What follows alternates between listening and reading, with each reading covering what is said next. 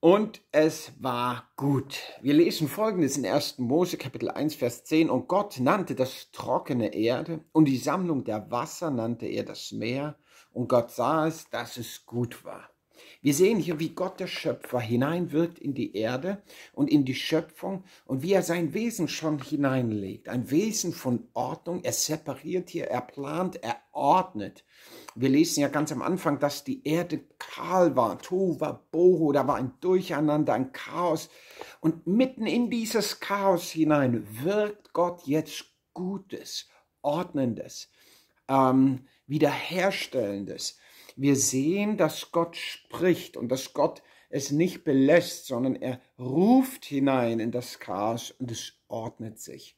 Was für ein wunderbares Bild, was auch hineinwirken darf in unser Leben, wenn wir Gott anrufen, wenn wir ihn um Hilfe rufen, dann dürfen wir wissen, mitten in unser Chaos hinein will Gott hineinsprechen, will Gott ordnen und will Gott schöpferisch wirken. Mit seinem Wirken kam auch die Ordnung von Saat und Ernte, von Fruchtbarkeit und Wachstum, von Wiederherstellung. Wenn wir sehen, was Naturkatastrophen anrichten können an Zerstörung und doch, wenn man dann Zeit später kommt, dann blüht wieder die Erde, dann regenerieren sich Dinge. Gott hat etwas Wunderbares in diese Erde hineingelegt. Er, der Schöpfer, hat geordnet und hineingesprochen. Das darf uns Zuversicht und Hoffnung geben und darf uns gleichzeitig eine Einladung sein, dass dieser Gott, der Gutes schafft, auch in das Tova Boa, auch in das Chaos unseres Lebens hineinsprechen will. Das hat er getan durch Jesus Christus.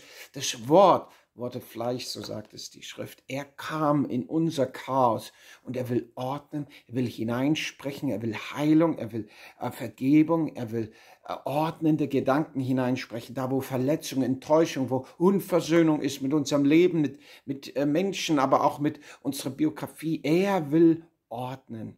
Und das soll gut sein, heißt es hier. Nicht, na ja, mal gucken, nein, er will Gutes hervorbringen. Und so darf auch schon am Anfang der Bibel ähm, das eine Einladung sein an uns, nämlich, dass wir uns an den Schöpfer wenden, dass wir uns an Gott wenden und uns auch in ihm verlieren und ihm vertrauen. Der, der schon damals gesprochen hat und die Erde geordnet hat, er will es auch heute noch tun, bis hinein in unser persönliches Leben. Und es soll gut sein wünsche uns das, dass wir das erleben und diese Glaubenssicherheit haben und sie tragen und weitergeben. Gott segne euch und wir sehen uns gerne wieder.